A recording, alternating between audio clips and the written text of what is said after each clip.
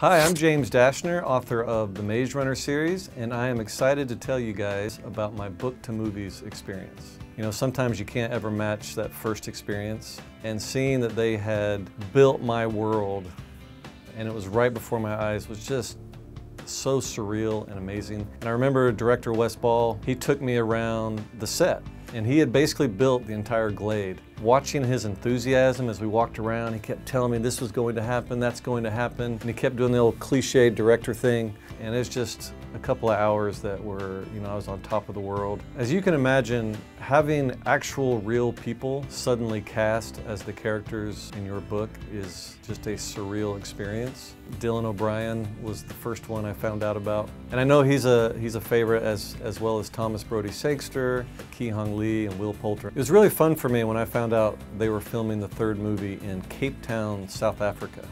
I, I mean, that's a place Never in a million years would I have thought I'd have any reason to go there. Once I got there, it was amazing.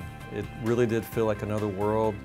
I was able to, to take a drive along the rocky coast and see the ocean. It was just beautiful. Reuniting with a lot of the cast and crew was just a really memorable thing for me and it was a good way to wrap up the series.